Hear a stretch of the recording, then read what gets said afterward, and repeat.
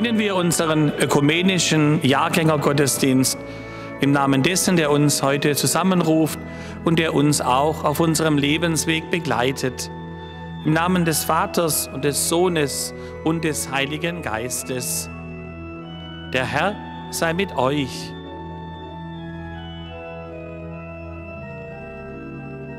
Liebe Zuschauerinnen und Zuschauer an den Bildschirmen, wir begrüßen Sie zu diesem virtuellen Jahrgängergottesdienst, den wir in ökumenischer Verbundenheit wie in Biberach üblich miteinander feiern. In diesem Jahr ist uns besonders bewusst, was uns alles fehlt. Wir sind beschäftigt mit dem, was wir vermissen. Auch hier in der Kirche, die leeren Kirchenbänke, jetzt wo wir den Gottesdienst aufzeichnen. Und sonst der Blick über eine gefüllte Kirche, ein Blick hinweg über die vielen, vielen Jahrgänge, die unterschiedlichen Generationen, die unzähligen Lebensgeschichten und die große Lebenserfahrung, die dann in so einem Kirchenraum zusammenkommt. Verbunden mit dem Gefühl der Dankbarkeit. Das macht, glaube ich, den besonderen Stellenwert sonst des Jahrgängergottesdienstes aus. Ein emotionaler Anfangspunkt oder für viele auch Höhepunkt im Schützenfest. Aber wir wollen jetzt nicht weiter klagen, wir wollen nicht beklagen, was uns fehlt, sondern wir möchten Sie einladen, auch in dieser Weise Ihr Herz zu öffnen für die Dankbarkeit, für die Freude, die uns geschenkt ist. Und so wollen wir beten. Gott, gütiger Vater, mein Leben hast du begleitet, mich mehrfach bewahrt Tag für Tag. Und in vielen Stunden hast du deine Hände über mich gehalten. Getragen hast du mich in schweren Stunden und in jedem Glück. Ich danke dir für alles, was mein Leben ausmacht, für die Menschen an meiner Seite, für Glück und gute Erinnerungen, für mein Auskommen, besonders in diesen Tagen für meine Gesundheit, für die vielen schönen Dinge, aber auch für alle ernsten Gedanken. Wenn ich dir danke, wird mir bewusst, dass alles ein Geschenk ist, unverdient, einfach ein Geschenk von dir. Ich bitte dich am heutigen Tag um deinen Beistand für die Zukunft, um die tägliche Geborgenheit durch dich um den inneren Frieden und darum, dass ich gesund bleibe. Darum bitten wir durch Christus, unseren Herrn. Amen.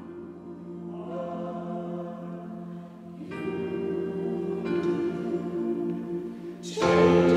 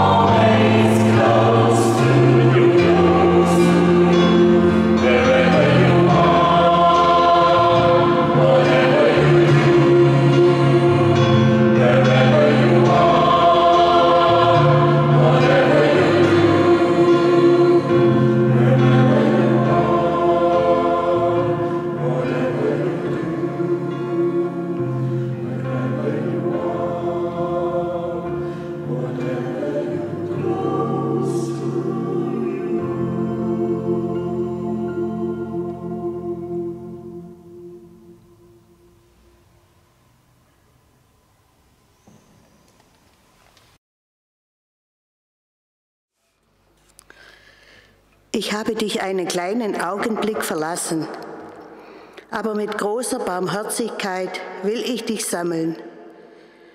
Ich habe mein Angesicht im Augenblick des Zorns ein wenig vor dir verborgen, Aber mit ewiger Gnade will ich mich deiner erbarmen, spricht der Herr, dein Erlöser.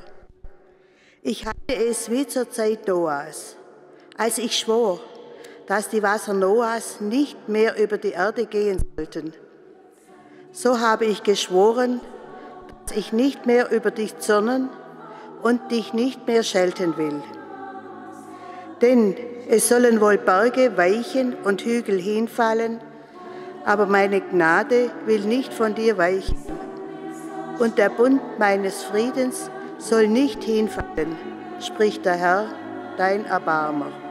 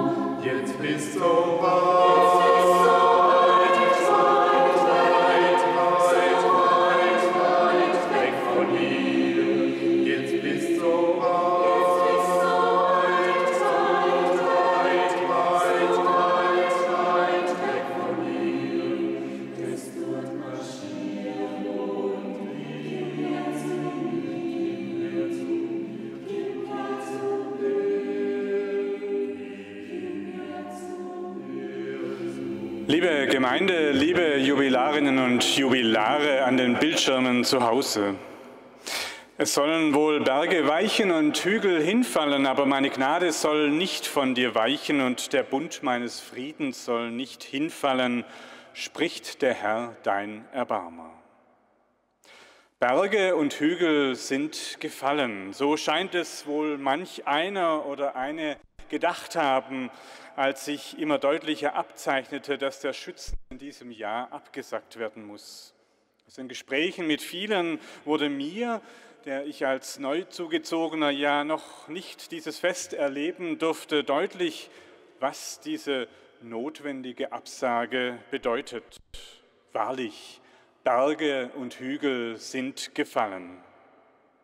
Doch es sollen wohl Berge weichen und Hügel hinfallen, aber meine Gnade soll nicht von dir weichen und der Bund meines Friedens soll nicht hinfallen, spricht der Herr, dein Erbarmer. Das Bibelwort bleibt nicht beim Fallen stehen. Gegen das Zusammenbrechen alles Festgeglaubten steht das große Aber Gottes.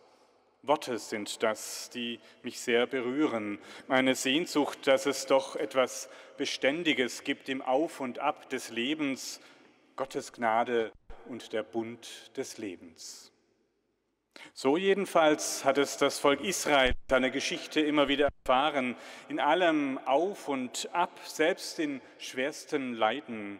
Gottes Gnade bleibt und der Bund seines Friedens fällt nicht so war es schon zu der Zeit, als der Prophet diese Worte im Namen Gottes sagte. Es steht im Buch Jesaja und ist ein Wort jenes Propheten, der in der düsteren Zeit des babylonischen Exils seinem Volk mutmachende Perspektiven für die Zukunft eröffnet hat. Das Volk Israel fühlte sich damals verlassen von Gott. Gott war ihnen fragwürdig geworden, kein liebender Gott mehr, sondern ein zorniger Gott, kein freundlich zugewandter Gott, sondern ein abwesender Gott. Und in dieser Situation ermöglicht der Prophet seinem Volk einen ermutigenden Blick in die Zukunft, indem er im Namen Gottes die Worte spricht, die wir in der Schriftlesung gehört haben. Diese Worte kommen mir vor wie ein Fenster, durch das wir ins Herz Gottes sehen können. Wir sehen Gott hier als einen leidenschaftlichen Liebhaber, als einen Gott voller Gefühle und Emotionen. Es ist, als hätte im Herzen Gottes ein Kampf stattgefunden, bei dem die Liebe mit dem Zorn gerungen und ihn überwunden hätte. Dem Zorn wird nur ein Augenblick zugestanden, der Liebe aber eine Ewigkeit. Der Zorn verraucht, die Gnade Gottes aber bleibt ewig. So wird der momentanen Resignation des Volkes eine ewige Hoffnung entgegengesetzt, dem stummen Leiden Gottes Leidenschaft für das Leben. Es ist ein sehr menschlicher Gott, der hier spricht. Hier spricht einer, der sein Herz öffnet für die Menschen. So liebevoll ist seine Beziehung zu den Menschen, dass sie hindurchträgt durch Fehler und Irrungen Unstimmigkeit und sogar Untreue aushält. In dieser allzu menschlich göttlichen Liebesbeziehung wächst Vertrauen, in dem sich Gott und der Mensch ändern und weiterentwickeln kann. So wie wir es brauchen, dass sich ein Mensch nach Zeiten des Zorns uns wieder zuwendet, so brauchen wir diesen menschlichen Gott, der zu uns spricht wie ein liebender Ehemann zu seiner Frau, wie ein Vater oder eine Mutter zu ihrem Kind. Das Selbst, das in unserem Leben stabilste zerbrechen kann, mussten wir in den letzten Wochen und Monaten der Corona-Pandemie schmerzlich erleben. Die Folgen davon in gesellschaftlicher und wirtschaftlicher Sicht zeichnen sich erst langsam ab. Und wir merken, wie leicht gerät doch das Bild, das wir von uns selbst haben und das unserem Leben Stabilität verleiht, ins Schwanken. Ja, das in unserem Leben stabilste kann zerbrechen. Alles kann zusammenstürzen, aber hinter allem Zerbrechlichen gibt es doch etwas Tragendes, Unerschütterliches die gnädige Zuwendung Gottes zu uns, seinen verlässlichen Bund des Friedens.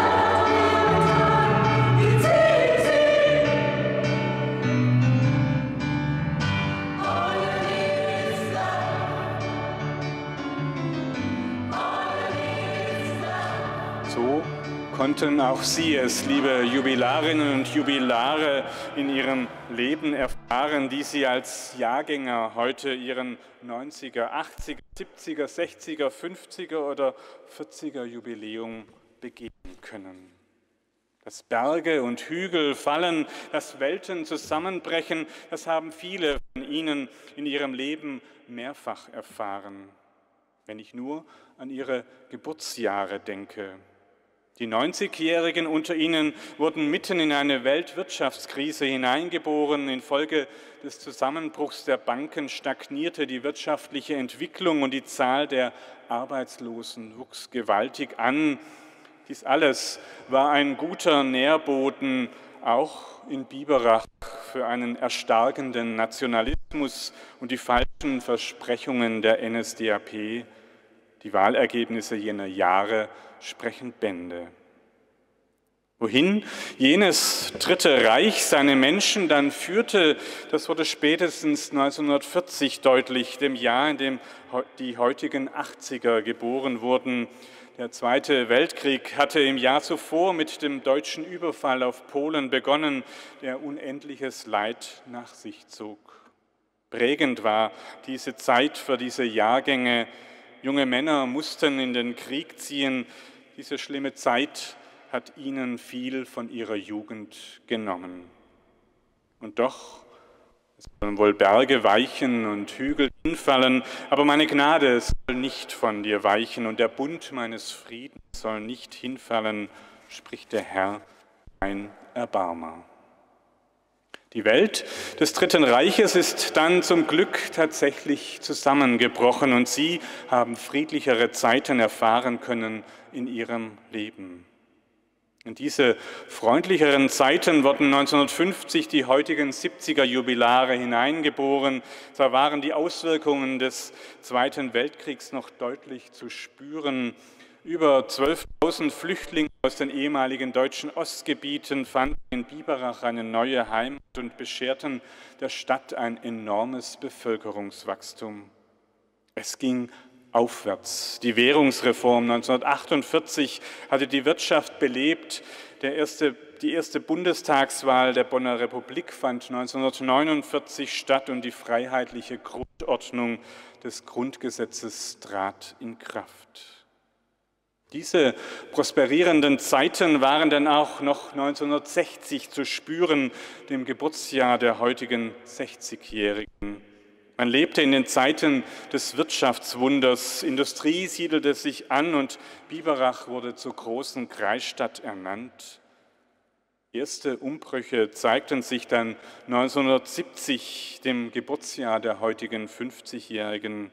Die Ölkrise erschütterte die Wirtschaft und gesellschaftliche Umbrüche bestimmten und bewegten das Leben.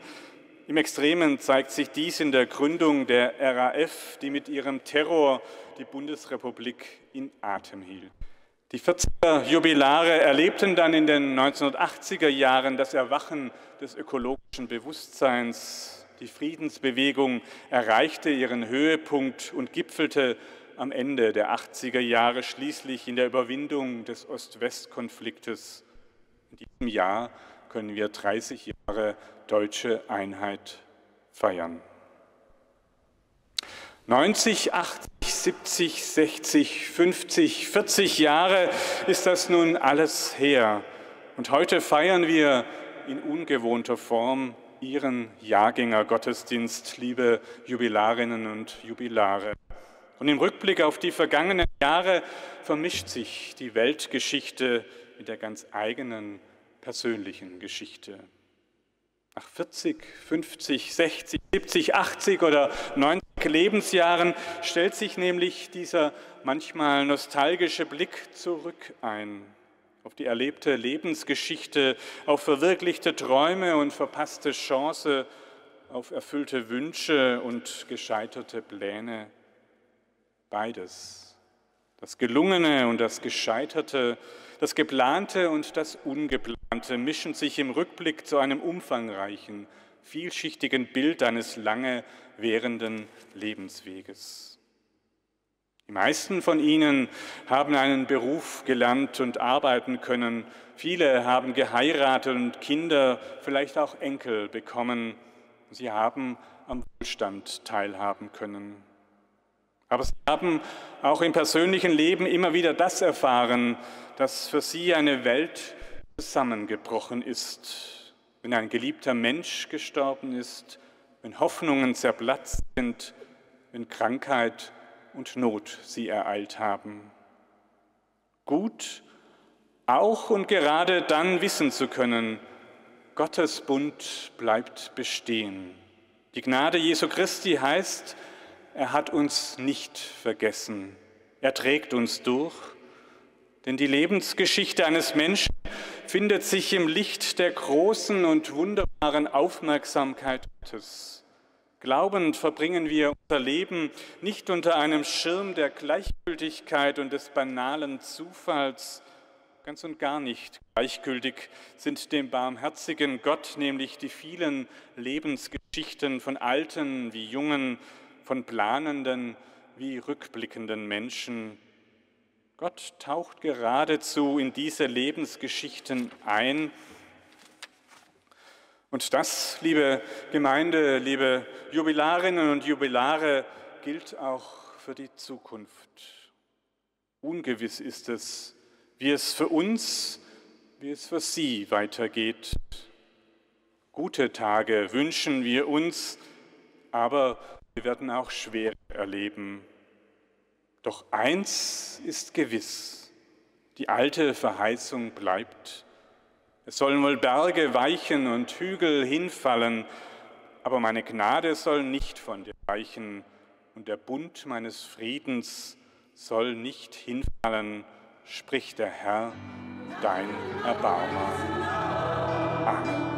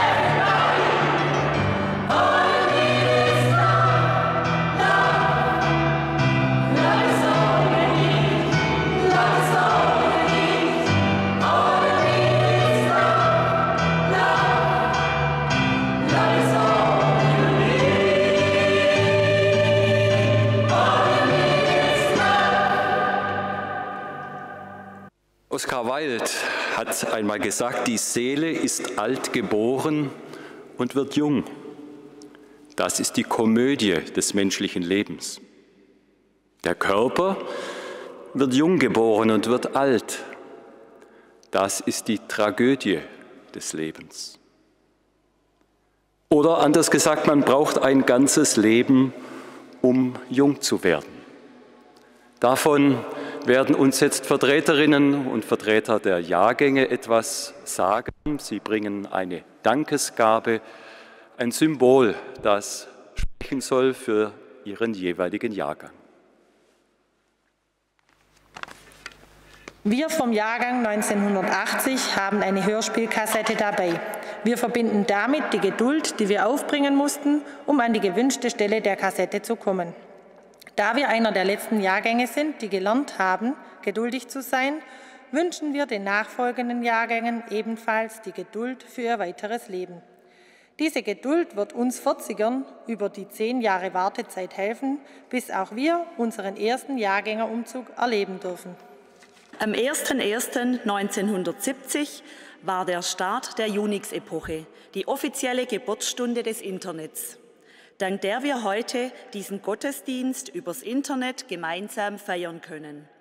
Wir bitten um verantwortungsvollen Umgang. Wir vom Jahrgang 1960 waren oder sind schon 60 Jahre. Dieses Buch steht für eine unbeschwerte Kindheit. Wir durften in dieser schönen und sicheren Stadt aufwachsen, zur Schule gehen, unseren Wunschberuf erlernen, um so ein gutes Familienleben aufzubauen. Dafür danken wir allen Menschen, die uns in diesen 60 Jahren so wunderbar begleitet und unterstützt haben. Leider darf auch unser Jahrgang 55 in diesem Jahr den 65. an Schützen nicht feiern.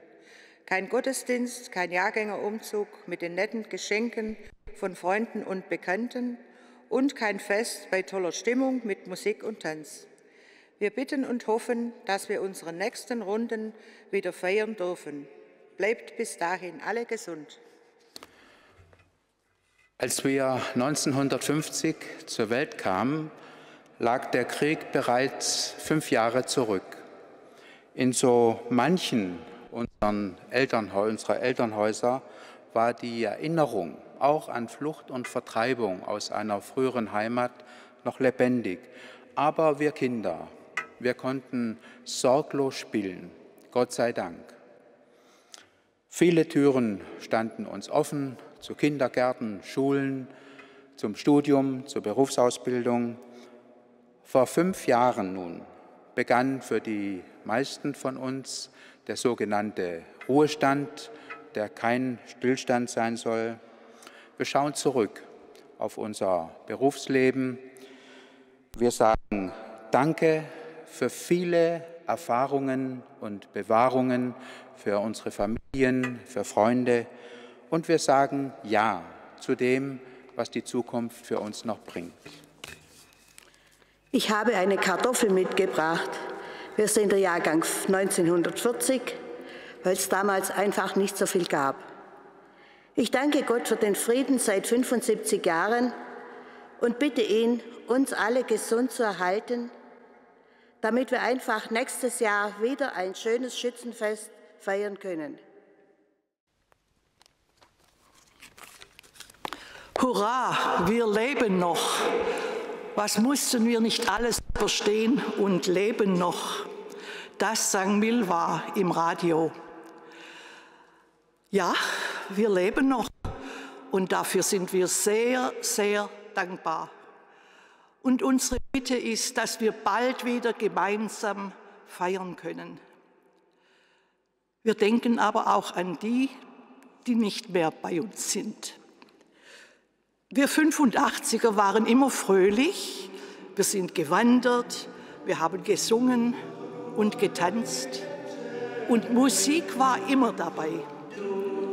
Hans und Wolfgang mit dem Akkordeon und Karl mit der Mundharmonika. Und als Symbol habe ich meine Mundharmonika mitgebracht.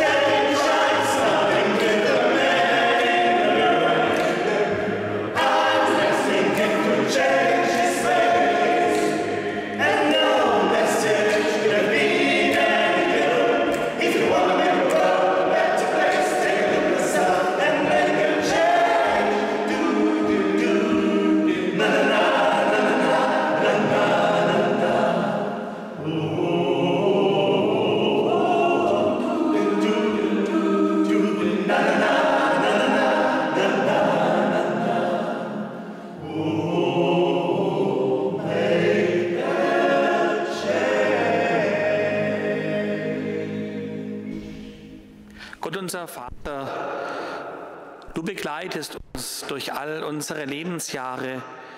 Du bist immer bei uns in deinem Sohn Jesus Christus. Dir sagen wir voll Vertrauen unsere Bitten.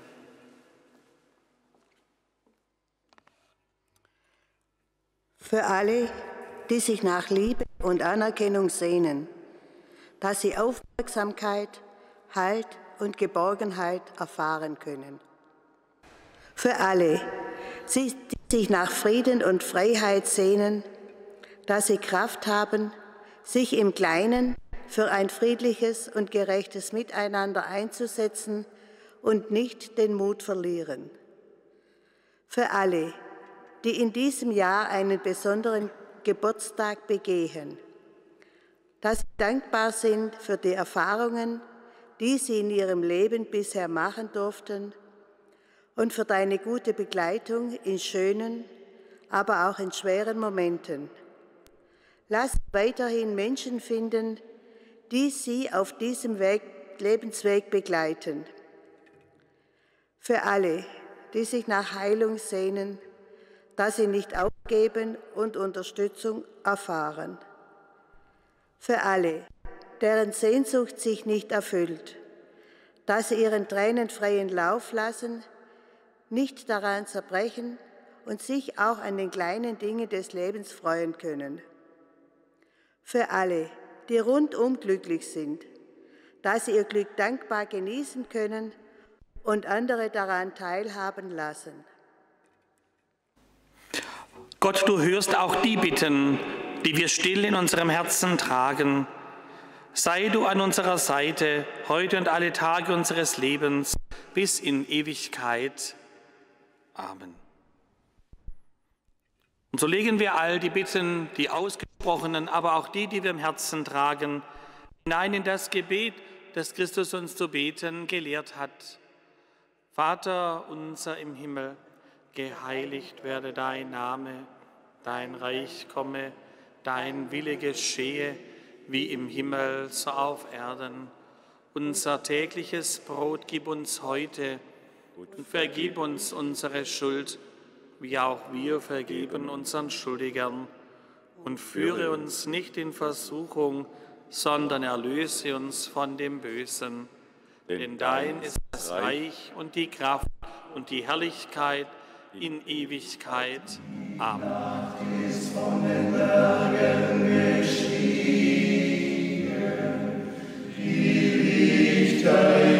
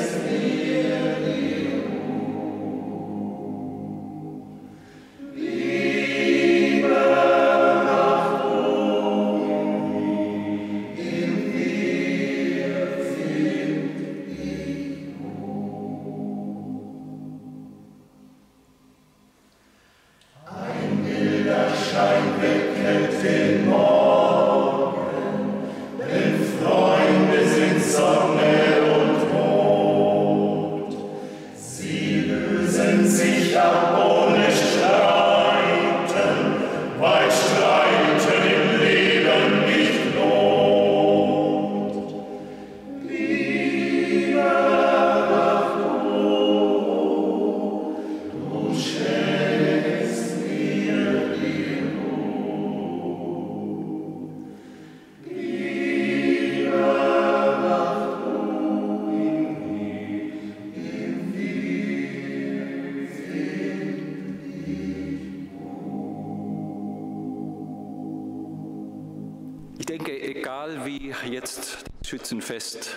gefeiert wird, im kleinen oder vielleicht doch in größeren familiären Rahmen, eines wird nicht fehlen können und auch nicht fehlen sollen, das Biberacher Schützenfestlied, das Lied an die Freude der Biberacher. Und wir wünschen in ökumenischer Verbundenheit, dass bei all dem doch etwas Schützenatmosphäre spürbar wird für Sie alle, dass Sie gute Begegnungen haben in der kommenden Woche und dass Sie miteinander Erinnerungen an selige Schützenzeiten miteinander teilen können. Jetzt dürfen Sie gerne zu Hause mitsingen, wenn das Schützenfestlied erklingt, das Justin Heinrich Knecht vertont.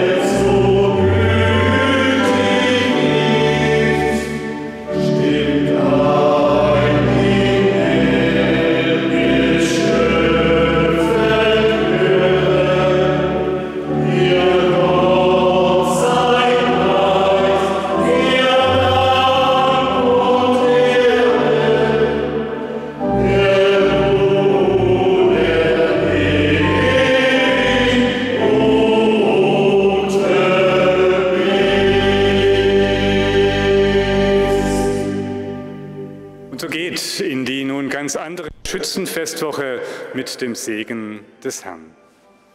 Der Herr segne euch und behüte euch. Der Herr lasse sein Angesicht leuchten über euch und sei euch gnädig. Der Herr hebe sein Angesicht auf euch und schenke euch Frieden.